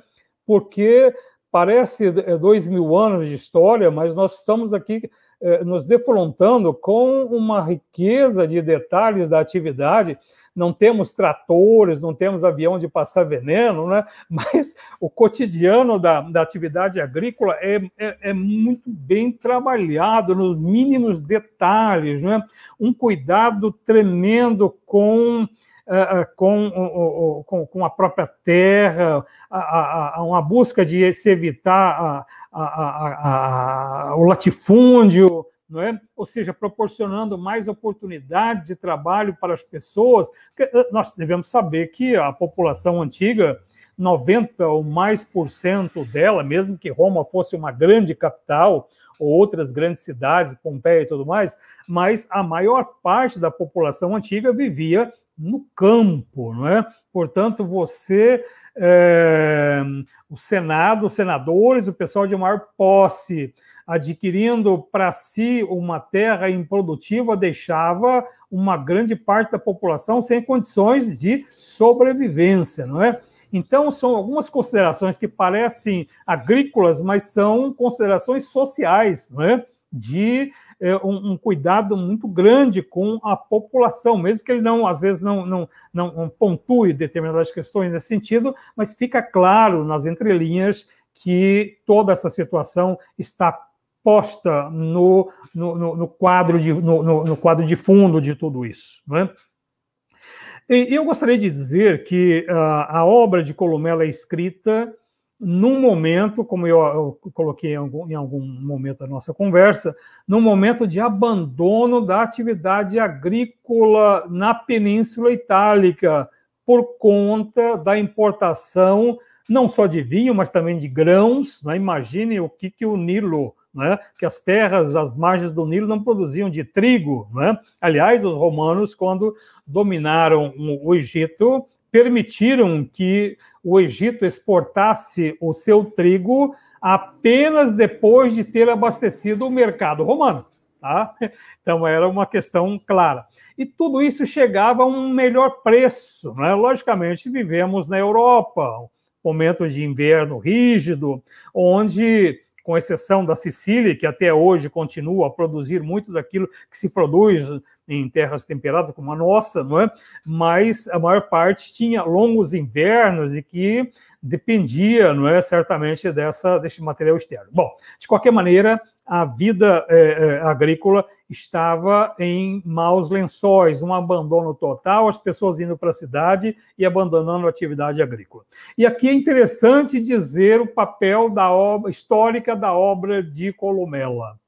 Em todos os momentos na Península Itálica, na Espanha e também no Portugal, em que o abandono da agricultura aconteceu, a obra de Columela foi reeditada e foi traduzida, traduzida em espanhol e começado a traduzir em português para que o Columela estimulasse com todo o seu vigor, o vigor do seu discurso, os agricultores da Idade Média a retomarem a sua atividade. É muito interessante essa obra do Columela, porque ele está permanentemente é, sendo relido em outros locais no momento em que a agricultura perde o seu encanto. Tá bom? Então, é, nesse sentido, é, o que nós conversamos aqui é apenas uma parte da obra de Columela. Né? No meu livro, eu vou tratar de tantas outras questões. E neste momento de pandemia, a parte final do meu livro trata da questão do, das propriedades salutares para a saúde dos romanos proporcionada pelo vinho. Todo e qualquer tipo de remédio era feito à base do vinho, né? Não só o remédio humano, mas também o remédio veterinário, né? Toda a cura dos animais era sempre, sempre envolvia o vinho. O pessoal dava uma bebedeira para as vacas que vocês não imaginem. Lógico, misturado a ervas e a outros produtos, mas animais e pessoas eram curados à base de medicinais produzidos com a inclusão do vinho nas suas mais diferentes propriedades. E depois, a cana-de-açúcar é uma coisa nossa e o barba-betro, a beterraba, é uma coisa europeia mais atual na produção de açúcar, não é? Nós não temos a produção de açúcar neste momento. Da onde vinha o açúcar? Do famoso defrutum, não é? Esses dias eu fiz uma experiência em casa aqui e reproduzi o defrutum romano. Que, que você faz? Você pega o mosto do vinho e o ferve até ele perder dois terços do seu líquido. Ele se torna, então, um líquido denso e com e muito doce que era utilizado para tudo, para adoçar toda a alimentação, todas as bebidas, todos os doces, a, a, a, as compotas romanas, todas elas utilizando o defrutum, ou a sapa. São dois produtos romanos, o defrutum e a sapa, todos eles produzidos a partir da fervura do mosto. Vocês podem fazer isso aí, vocês vão no mercado, comprem uma garrafa de suco de vinho, coloque na panela e fique atento e deixe ferver, ferver até permanecer apenas um terço do líquido. E vocês vão provar o que era o defrutum romano, o que era a sapa romana, que na verdade era o adoçante, o adocio da época, tá certo? Então, tantas outras questões. Bom, o, o, Columela vai trabalhar, é, vai, vai, tratar de todas as outras produções, tá? De animais, de, de, de, de outros tipos de grãos, etc. Mas aí eu foco um pouco a questão nessa questão da agricultura, da viticultura e da agricultura, tá bom? É isso. Ótimo, obrigado, professor. Né? Quanta coisa, que riqueza. E, e agora chega-nos aqui uma pergunta do, é, do Renato. Professor Ivan, boa noite. É possível dimensionar se o De Rústica de Columela conseguiu tornar-se de fato um manual de referência prático de agricultura? Olha. A pergunta do, do Renato. Ah, realmente e efetivamente utilizado para orientação do plantio Sim. e da colheita em sua época a Oi, pergunta Renato. do Renato. Por favor, professor. Eu, nós entendemos com Columela que a agricultura não era uma atividade de, enfim, para qualquer um, né? Você não podia pegar uma enxada e pegar uma pá e ir para a roça e carpir, plantar. Havia uma ciência. Não é? é muito interessante a questão da ciência, particularmente agrícola, não é? É, bancada pelo Varrão anteriormente, pelo Catão, mas particularmente pelo Columela, em que é, são historiadores né, do campo que sentam, leem muito, reúnem informações e, como você diz, elaboram manuais de agricultura. Um manual extraordinário de uma riqueza moderna. Eu acho que qualquer agricultor que lesse com uma linguagem mais acessível a obra do Columela, se sentiria muito tranquilo em começar, por exemplo, especialmente o pessoal aí é, é de, de, de, de Jundiaí e, e, lá do Rio Grande do Sul, né, na, na produção é, de viticultura, se sentiriam muito bem é, a, a, a, muito bem informados com detalhes, porque ele vai ainda dizendo qual é o tipo de cepa que tem que ser plantada, como é que, é, como é que se planta a cepa, como é que se poda a cepa, como é que você cuida, como é que você organiza a, a videira, não é? Como você planta as árvores que você planta ao lado da videira para que a videira cresça sobre as árvores, outros tipos, ou aquela latada, latada é aquela, aquele tipo de parreira que a gente tem. Então, ele vai dando detalhes sobre tudo isso que qualquer agricultor e viticultor moderno se sentiria muito bem informado a este respeito. Então, eu eh, dei uma olhada em alguns cursos de, de, de, de, de, de eh, ciência agrícola, de o que se chama aí, o curso de, eh, de agricultura, o curso de agronomia. De agronomia, desculpe, de agronomia, não encontrei muito columela. Tá? E, e, eu acredito que o Columela não está aí exatamente porque ainda não existe uma obra em português não é? com o seu texto. Eu acho que é, é, é, é, muito bom. Tem alguns colegas aí que fizeram teses, que traduziram, por exemplo, o capítulo 9, outro capítulo tal. Não é? Eu acabei fazendo a tradução de tudo, mas não é para publicação. Logicamente que aqui precisará de ter um grande latinista que se senta junto com um expert em agronomia, em veterinária, para fazer um trabalho a seis mãos, não é? Porque eu acho que determinados detalhes o tradutor não consegue dar se ele não tem o apoio de parceiros que conheçam mais detalhadamente a ciência a qual o Columela se refere. Então, certamente, Renato, vale a pena o, o, o, termos aí um manual do é, um manual do, do, do, do, do Columela, eu posso, se alguém quiser emprestado, eu posso emprestar aí, ou posso passar uma cópia do meu texto em italiano, né, do Columela, é, que, que pode ser útil para vocês, tá bom? Então, acho que é isso. Ótimo, obrigado, professor Ivan, obrigado, Renato, também pela, pela pergunta. Então, vamos caminhando, vamos ver se temos mais, mais perguntas.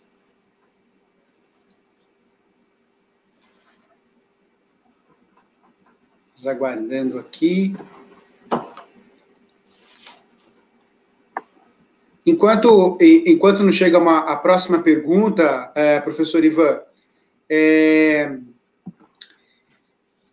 é, a, a essa relação da obra do Columela com escavações arqueológicas, o senhor começou apresentando, inclusive, né, é, algumas, alguns desses sítios arqueológicos relacionados à viticultura né? E aí é, há esse cruzamento, então, da arqueologia com essa literatura é, do Columela? Bom, a arqueologia revolucionou muitas das nossas ideias sobre este passado, né? Inicialmente, a teologia bíblica, né, que praticamente que financiou e que estimulou o início da arqueologia e, portanto, a igreja foi responsável durante muito tempo por, bancar escavações que, de alguma maneira, enfim, bancassem as informações é, instadas aí no Novo Testamento, no Antigo Testamento. À medida em que a, a arqueologia ganha asas próprias, não é? Certamente muitas informações vêm à tona. Imaginem o conjunto de informações que nós não temos hoje sobre a agricultura, sobre a vida produtiva romana, a partir das informações que nos chegam de Pompeia. Pompeia acabou de ser descoberto mais um espaço de ricas informações de Pompeia que nos trazem informações extraordinárias sobre a produção é, é, é, a produção agrícola. Inclusive, existe um, uma área na, na área de escavação de Pompeia que está refazendo a produção de vinho do primeiro século produção, produzindo cepas do, indicadas por Columela, processos de produção muito iguais àquele de Columela, produzindo de fruto, produzindo a sapa, não é? e trazendo aos turistas, aos pesquisadores, aos visitantes, uma informação real daquilo que ocorria na cidade de Pompeia. Mas não é só isso. Aquela, as imagens iniciais que eu apresentei para vocês do fundo do mar nos trazem hoje na arqueologia marinha uma riqueza extraordinária que traz à tona é, barcos que trazem informações, não é? que os livros e que os documentos, que nem Columela, que nem Varrão, que nem Catão é, é, é, é possuem, trazem sobre elas. Não é? Então, a arqueologia vai é, perto de, de, Roma, na cidade de Ostia, talvez foi a maior descoberta a respeito da viticultura, é, uma, um, um, recinto de uma adega praticamente intacta, com inúmeros tipos de ânforas sigilate, é, ânforas que tinham inscrições. As ânforas, mais ou menos como os rótulos de vinho e de cerveja nosso, trazia lá a quantidade, trazia o tipo de uva, trazia o tipo, a, a, a data de produção, trazia muitas informações sobre o líquido interno dessas, é, é, é, é o líquido interno dessas, dessas ânforas. E essas ânforas romanas começam a ser encontradas em diversas outras partes do Império Romano. E dessas outras partes do Império Romano, muita coisa começa a chegar e ser encontrado na Península Itálica, demonstrando a grande, eh, a, a, grande, eh, eh, o grande dinamismo do comércio, não no comércio em geral, mas particularmente do comércio vinícola, sabemos que o vinho era a base da bebida romana, não é? Inclusive, era uma bebida muito interessante. Hoje eu fui ao médico e a, a minha médica disse: olha, esse problema teu aí desse, desse, desse, desse vírus, etc., ele é produzido por água pouco tratada. Pô, em, Assis nós temos a Sabesp, então é complicado isso, ela me dizer isso, né? No século XX, 2020, ela me dizer uma coisa dessa. Falei, bom, tudo bem, isso é uma coisa mais antiga que agora, etc, etc. Mas os romanos certamente tinham muita saúde, por em vez de ficar bebendo água de qualquer lugar, bebiam vinho. bebiam vinho. Então o vinho não era lá, o cara não levava para a roça uma moringa de água gelada, levava uma moringa de vinho. Né? E certamente o vinho tinha uma riqueza extraordinária também para a saúde. Então, a arqueologia, né, Maurício, está trazendo para a gente uma riqueza de informações que, primeiro, corroboram as informações da documentação escrita, é, criticam não é, determina, por exemplo, uma crítica que, que é feita ao Columela. Columela diz que é, o, o, o, o Willicus, portanto, o, o capataz, era alguém que tinha que ter entre 30 e 24 anos, etc. A arqueologia nos trouxe informações de Willicus com 18 e 19 anos de idade escrita no seu túmulo, como na sua lápide, não é? Então, muitas informações que estão chegando, das, é, especialmente do mundo funéreo, não é? que, era, que era muito interessante. O Egito, nós estamos acabando de assistir agora aqui aquele episódio da, da, do filme de Sácara no, no Netflix, que acabou de trazer em 2018 uma descoberta extraordinária de uma mastaba, não é? do, do, do, do túmulo de um nobre com tantas outras informações, inclusive com, primeira, com a primeira múmia de um leão. Né? Era comum a múmia de gatos entre os egípcios. Pela primeira vez na história da arqueologia romana, tivemos notícia da mumificação de um leão. E do fato de talvez de toda a família ter morrido de malária. Né? Então, veja que informações que os documentos, os templos e os palácios não nos trazem, não é? A arqueologia vai, logicamente, trazendo, é, reunindo um conjunto de tecnologias, de especialidades. Hoje o arqueólogo não vai de, de, de pincel e, e pá para o campo, não é? Ele tem ao seu lado uma equipe muito grande de especialistas que o auxilia no seu trabalho. Inclusive no Brasil, na região de Campinas, nós temos alguém que trabalha com paleontologia, todas as análises são feitas ali perto de Campinas, ajudando arqueólogos e antropólogos no seu trabalho. Muito bom, muito bom. É... Mas saindo um pouquinho de Columela, a gente se mantém ainda nos sítios arqueológicos, mas eu não poderia deixar de aproveitar para fazer essa pergunta sobre a, a, a sua experiência, professor, em Magdala, no sítio arqueológico de Magdala. Eu preciso fazer essa relação Sim, com a história das religiões. Por incrível que pareça, você puxou alguma coisa da cabeça aqui. A Marre, que é responsável pela escavação de Marre, apareceu hoje numa foto montada num camelo. Né? E eu falei para ele, escuta, Marre, mas aí em Magda tem camelo? Ela estava no Egito, logicamente.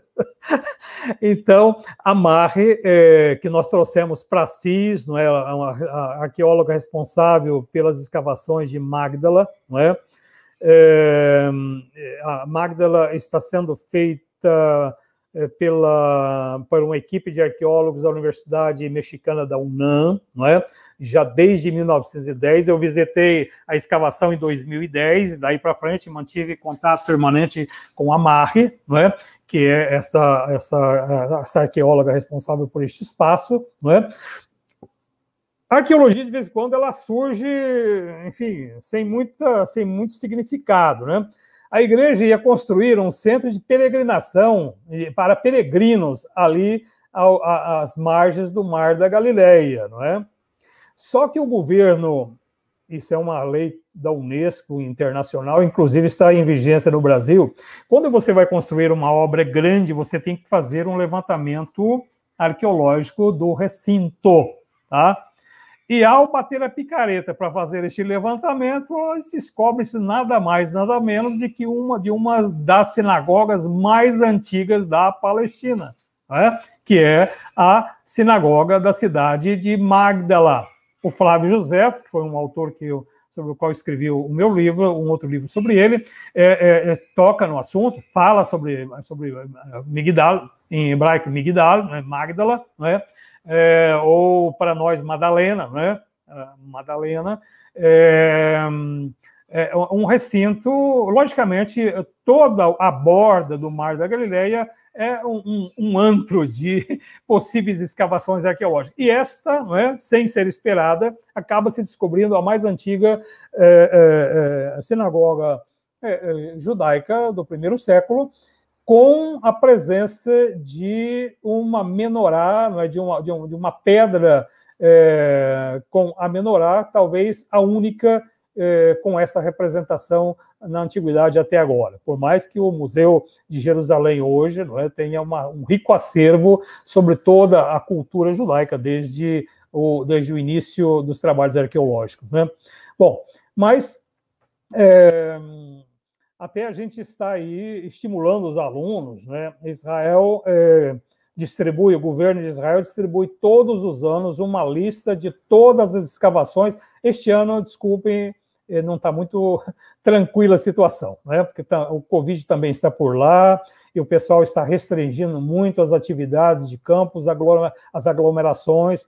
Então, vamos pensar aí, vocês estão começando o curso, estão no meio do curso para 2022, não é? É, certamente agora em 2021 vai ser apresentadas todas as escavações que serão realizadas em Israel, tá? Virá o nome do diretor, virá o local, virá o que vai ser feito, qual que é o objetivo, e haverá também a possibilidade de acolher voluntários para este trabalho, tá? Então, quem quiser aí se inscrever, Lógico que aí tem um certo custo de manutenção, etc. Agora, há determinadas escavações, né? aí vocês podem conversar com o meu pós-doutorando agora, é, que, que, que, está trabalhando em Israel, né? ele tem informações de algumas escavações que recebem gratuitamente alunos aí é, para participar. Né? Então, vocês podem chegar lá de navio, de avião, ou vocês vão para a praia, nadam e chegam em Tel Aviv, né? Enfim, bom, brincando. Mas é, é possível hoje vocês participarem de tudo isso. Se não participarem fisicamente, muitas escavações permitem a participação à distância das escavações, né? A cada dia, a cada final de semana, há relatórios que são feitos pelos diretores ou por, por outros professores responsáveis, não é? É, é, que trazem, é, que trazem informações riquíssimas sobre aquilo que vem sendo encontrado, né, que vem sendo analisado e possíveis modificações nas descrições. Né? O João, que foi outro meu é, é, pós-doutorando, tem aí informações muito interessantes do ponto de vista arqueológico, não é? que vem modificar radicalmente a, a compreensão que nós temos do Reino do Norte e do Reino do Sul em Israel. Tá? Então, muitas coisas novas estão vindo aí. Não para descredenciar a Bíblia, mas para dizer que a Bíblia era uma representação de historiográfica que precisa ser lida à luz de tantas outras documentações, de outras, outras informações que esclareçam um pouco melhor não é, esta história eh, desde o, o 12 eh, século até a derrocada romana em meados do século I, quando Flávio Josefo descreve a destruição de Israel, a destruição do templo e o início da grande diáspora israelita, cujo retorno vai se dar apenas em 1948, com a criação do Estado de Israel. Muito obrigado, professor. E mais uma pergunta do Renato. Obrigado, Renato. É, com base nas orientações de Columela, para a produção de vinho e as descobertas arqueológicas com resíduos e informações sobre os tipos de vinho na antiguidade romana, é possível fazer uma rápida comparação entre o vinho antigo e o produzido atualmente? Obrigado, Renato. Por favor, professor Ivan. Bom, quem comprou já um chalice ou um sangue de boi aí no mercado? Pessoal, nós tínhamos também chalice e sangue de boi em Roma, né? Ou seja, o Columela já diz: olha, se você. A primeira prensa é para o vinho bom, a segunda prensa vai trazer um vinho de segunda qualidade, né? Que geralmente vai ser aquele vinho dado aos escravos, né? Com exceção de alguns momentos, que sobre o qual conversamos hoje, em determinados momentos do ano, então se coloca à mesa, um bom vinho e tudo mais. Né? Então, certamente se sabia muito bem qual era o bom vinho ou qual era a uva, e ele é muito claro nisso, né? Ele vai dizendo qual é a cepa que produz a melhor uva, né? com a melhor doçura, portanto, com o maior é, é, com, hoje atualmente com o melhor grau de BRICS, né, que vai produzir um vinho de qualidade, tá? E dizia que outros né, produziam um vinho de muito pouca qualidade. Mas ele estava sempre preocupado em analisar localmente, nacionalmente e internacionalmente qual era o tipo de videira, qual era o tipo de cultura, qual era o tipo de amarrio, o tipo de adubação que levava à produção de um vinho de qualidade. Ou seja, era a única possibilidade de Roma é, é, combater o mercado internacional era produzir um vinho com a mesma qualidade do vinho grego, do vinho egípcio, do vinho é, da Península Itálica, do vinho português. Nós temos aí o Portugal como, também como uma colônia, como uma província romana. Não é? Portanto, ele vai dizer o seguinte: ou produzimos vinho de qualidade, ou vamos depender definitivamente de produtos externos e queremos então que a nossa economia se recomponha produzindo material de qualidade. E ele tem um cuidado muito grande com isso. Não se faz vinho com qualquer uva, não se esmaga uva em qualquer prensa, não se utiliza para o mosto, para ferver o mosto. Há um problema aqui, não é? O mosto era fervido em tachos de chumbo. Tá? E hoje há pesquisas médicas dizendo que o plumbismo pode ter sido uma das causas da queda do Império Romano. Ou seja, muito desse vinho, dessa sapa, desse defrutum era feita em, é, é, em panelas é? é? de chumbo, e esse chumbo desprendia substâncias que comprometia profundamente a saúde dos romanos. E hoje o plumbismo, vocês vão encontrar muitas pesquisas sobre isso, vai sempre levar em consideração, e a arqueologia está nos trazendo muitas informações sobre, sobre as panelas não é, revestidas ou totalmente de chumbo não é, que eram utilizadas neste processo. Tá? Bom, então, de qualquer maneira, a qualidade era se levava em consideração betumando adequadamente as ânforas, não é? Mantendo um ambiente muito higienizado. A higiene era muito importante. Vocês sabem que a produção de vinho e de cerveja, se você tiver qualquer tipo de, é, de ambiente mal higienizado, você deteriora toda a produção e muito rapidamente. Isso já estava, era consciente por parte de Columela. E ele queria que o espaço onde era produzido o vinho, onde era armazenado o grão, fosse muito bem higienizado. E aí ele passava essa responsabilidade para a Vílica, para sua esposa. Cuida bem disso, hein? Porque se estragar o vinho, você será responsável, né? E você pode cuidar do vinho porque você não vai bebê-lo, né? então brincando um pouco, né? Mas essa questão está clara precisa-se, aí a gente fala da qualidade, o total quality, o, o, o taylorismo, mas era já uma preocupação com tudo isso, dado a fortaleza do mercado externo, que certamente colocaria por terra qualquer tipo de produção nacional. Ótimo, muito bom, muito obrigado, professor Ivan. E, e professor, sobre o livro, o senhor disse que está no, no prelo, né? Tem uma, tem uma perspectiva assim Olha, de lançamento? É, eu estou verificando, agora nesse momento a gente está com uma dificuldade de comunicação, etc., mas espero que em 2021 ele seja publicado.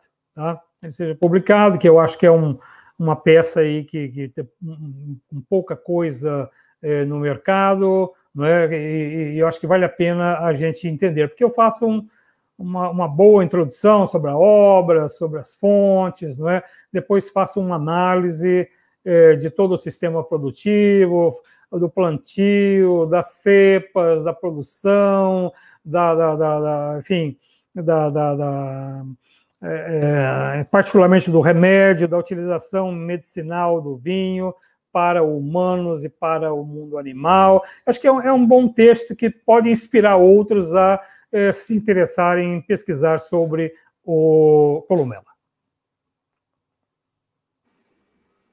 Ótimo, que bom. Já estamos todos na expectativa desse lançamento, dessa publicação. Espero que a gente tenha oportunidade também de falar sobre o livro por aqui, né? É, na, na UEMP. É, falando só em publicação, só gostaria de dizer que acabou, então, como o, o Luiz Barnabé tinha é, colocado no início, acabou de sair, então, pela EDUSP, a segunda edição do Mário Liverani, que foi minha tradução da sua obra O Antigo Oriente Próximo, que praticamente é a única obra brasileira neste momento atualizada sobre a pesquisa sobre o Antigo Oriente Próximo. Tá? Então, vale a pena. É, pessoal, os alunos aí, tá, o livro está um pouco caro, mas vocês têm que aproveitar para pedir que um professor compre por vocês, que ele tem 50% de desconto lá na USP, ou aguardar a, a Feira do Livro da USP, que neste ano foi online, e que teve mais de 20 ou 30 editoras colocando esse livro, por exemplo, foi pela metade do preço. Né? Então, vale a pena vocês terem em mãos, pelo menos na biblioteca, um material que eu acredito bastante recente sobre o argumento. Tá bom? Tinha uma questão anterior ali, não sei. Ok, aí. É, você está sem o som. Ah, é, é, obrigado, professor. Okay. É, o livro, a informação que veio antes é que o livro do, do Mário Liverani é utilizado no curso de História Antiga aqui da UEMP, né? O, professor Barnabé, né, que é o docente da disciplina, então é, está na, na, bibliografia do curso. A, a, vamos passar a pergunta, então, do, Ju, do Júlio, né? Obrigado. E é, como, como é uma experiência num campo arqueológico, parece extremamente interessante esta prática e para mim, pelo menos, parece muito distante. Quais os, uh, os potenciais da arqueologia uh, para o contemporâneo? Obrigado, Júlio, e por favor, professor Ivan. Bom, vamos começar pela nossa casa, né? Na América, né? Uh, na América, os dois, os dois espaços mais privilegiados para arqueologia, certamente é a cultura né, mexicana, onde nós temos ali muitas escavações, e o mundo andino. Né? É, por exemplo, o Peru tem uma, uma descoberta arqueológica extraordinária que rompe com muitas informações do Child, que situa o desenvolvimento da civilização apenas no Antigo Oriente, em torno do, do Tigre, do Eufrates e do Nilo. Né? Nós temos no Peru civilizações. A única diferença dessas civilizações é que era uma civilização ágrafa, não tem documentos escritos, não tem a escrita ainda, mas de uma tecnologia, um desenvolvimento arquitetônico, cultural extraordinário que põe por terra essa história das, da, da, do início da civilização ter sido restrito ao mundo antigo oriental. Tá bom? Com relação ao Brasil, nós temos já um problema no Brasil, né? É, no estado de São Paulo, por exemplo, nós não temos nenhum curso, também acredito que o Paraná não tenha. Aliás, no Brasil, nós não temos cursos, nenhum curso, com exclusividade no Piauí, na, lá na, na, na, na Serra da, da, da, Serra da. Me lembrem aí? Capivara, na Serra da Capivara, ali próximo, nós temos um curso de, de, de, de arqueologia, de graduação, vinculado, logicamente, a esse grande espaço de arqueológico. Né? É, aqui no estado de São Paulo, que a gente conhece um pouco mais, a única experiência que nós temos é de pós-graduação, proporcionada pela USP no MAI. Tá? Então, é ali que nós temos é, a formação de arqueólogos, não é? apenas em nível de pós-graduação. E vou trazer aí uma das experiências muito interessantes que o MAI faz com crianças a respeito de arqueologia. Né? Eles chamam as crianças, não agora, né? vão voltar a chamar mais para frente, depois do Covid, é, vão voltar a chamar as crianças num espaço em que eles montam um sítio arqueológico. Enchem uma sala de areia, enterram ali um punhado de objetos produzidos com impressoras 3D de objetos que estavam aí no acervo, né? enterram tudo isso e começam com as crianças, né? com uma pazinha de jardim um, e um pincel, uma experiência muito interessante de introduzi-las no mundo da arqueologia. Tá? Mas nós temos no Brasil é uma nova lei, né? Que é aquela, por exemplo, o professor Pedro Paulo Funari participou do levantamento arqueológico na construção daquele é, gasoduto que veio da Bolívia para o estado de São Paulo.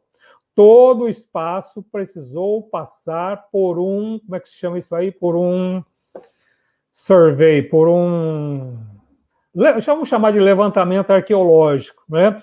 Para que você garantisse que as colunas, que esse aqueduto não inviabilizariam a, a, a futuras escavações arqueológicas no Brasil. Em Israel, hoje, a coisa mais complicada é você construir uma estrada.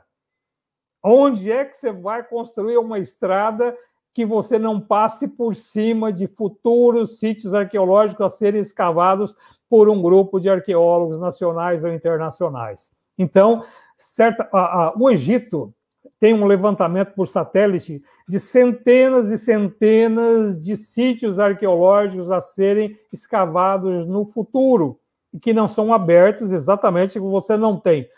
Está proibido retirar qualquer. O Dom Pedro I foi lá e trouxe muita coisa para cá, né? E por, pela desgraça, pegou fogo no Museu Nacional do Rio de Janeiro, desapareceram todo o nosso acervo egiptologista, não é? é, trazidos pelo Dom Pedro aí lá da, da, do Egito em outros momentos, né? Que eu diga o Museu do Louvre, que eu diga o Napoleão, com aquela sua trupe de pesquisadores que na, em 1700 e tantos esteve por lá trazendo para o Louvre e depois repatriando é, para, não para o Egito, mas para Londres, um mundo de outras coisas, inclusive que a Pedra de Roseta não está lá no Louvre, mas está lá no museu, é, é no museu de, de no museu de, de é, no British Museum, Museu Britânico, né? Os Isso. alunos acabaram de apresentar um seminário sobre o Museu Britânico, né? Então, nós temos aí é, é, uma nova arqueologia feita certamente com parcerias de muitas outras áreas, tá? A arqueologia moderna não é mais a, o trabalho do arqueólogo, tá? É um trabalho de equipe, de equipe muito bem organizada, muito bem. É, a, a, até não pode ser uma equipe qualquer, não é? Tem que ser cientistas de outras áreas, mas que mantenham algum diálogo com a historiografia, com a documentação, que se interessem por cultura, por história, não é? Então, hoje, certamente, é um outro caminho, tá? Então, dá para a gente trabalhar numa equipe de arqueólogo trabalhando com epigrafia, trabalhando com, é, é, com outras ciências, com biologia, não é? Ou quantos biólogos não estão envolvidos aí neste processo, tá? Então, é, é, a arqueologia é um campo promissor, não é? No mundo todo, nenhuma construção é feita sem que se faça esse survey arqueológico em Portugal, em, em, Lisboa, é muito interessante. Você vai visitar alguns bancos que foram construídos em cima de um território romano. O que, que o pessoal fez? Escavou toda a parte de baixo, né? colocou vidros temperados em cima e você tem, tem um banco na parte de cima e embaixo você tem uma visita arqueológica da presença romana, uma delas um espaço de salga de peixe é, na, em plena Lisboa, né? particularmente depois daquele famoso terremoto em que o nosso famoso Marquês de Pombal né, ajudou a reconstruir a cidade, e nessa reconstrução trouxe à tona um mundo de informações sobre o mundo romano. Então, vale a pena, pessoal. No Brasil tem muita gente interessada nisso, tem muita gente se envolvendo nisso, e é um caminho promissor pela frente. Ótimo, muito, muito obrigado, professor Ivan.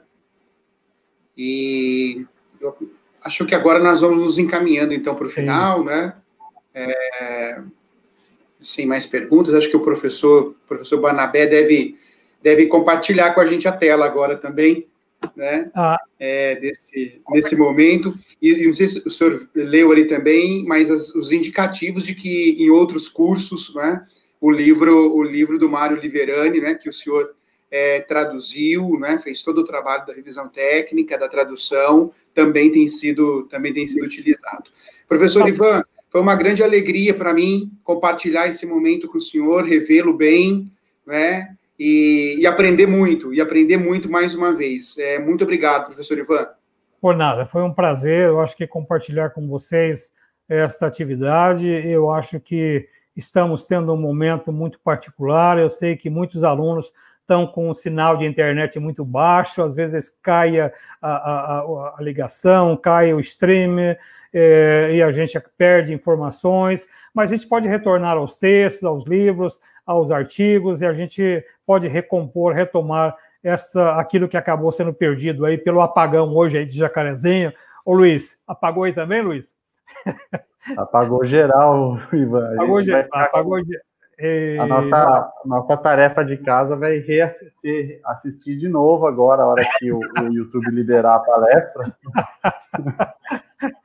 Não, essa é uma novidade. Não vale a pena ver de novo. É, eu vi é... outras palestras de vocês aí em outros momentos, foi interessante, fica gravado aí, depois cada um no seu tempo, a hora que está com um pouco de insônia, abre o celular ou o computador aí e revê tudo isso, tá bom?